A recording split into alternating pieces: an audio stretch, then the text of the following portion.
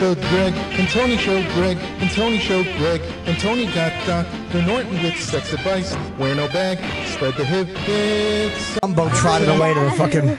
I just want to thank you so much for my party. It's not um, Long Island, this is. I'm this really is. excited, and I'm mostly excited because all my friends are here, and everyone's going to be here.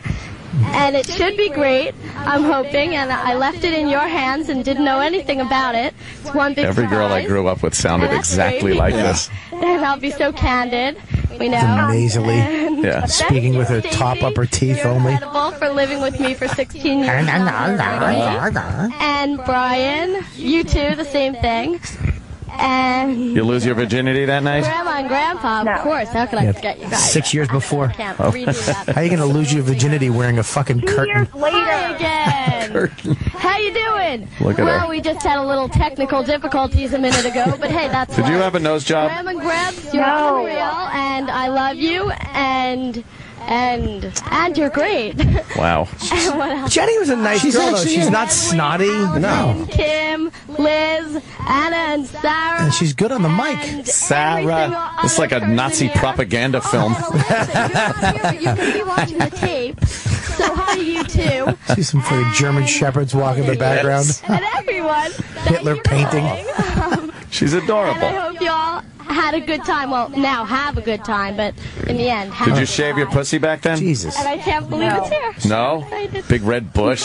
This is my sister Stacy. Oh, oh, oh, my God. There you God. go. She's There's Stacy. She'll be 18. Look at that house. 11th. And she Wow. Castle. like, Yeah. Two years ago, April 7th. Two You guys look like you should wrestle. I wrestle. love her. Yeah, she looks like Marion, Stacy. A hot ah. version of Marion.